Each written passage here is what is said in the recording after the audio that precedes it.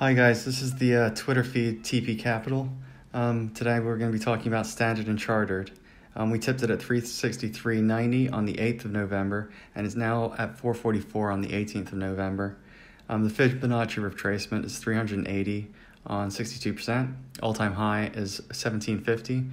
Um, the fundamentals look good. The gl- global macro situation looks good, and it has great emerging markets um, um, assets. Um, the Sustainable Development Program is outstanding, um, and it has a great foundation with the UN.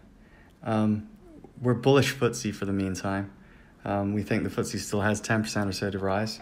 Um, it's going to be a rocky road until the election's complete. Um,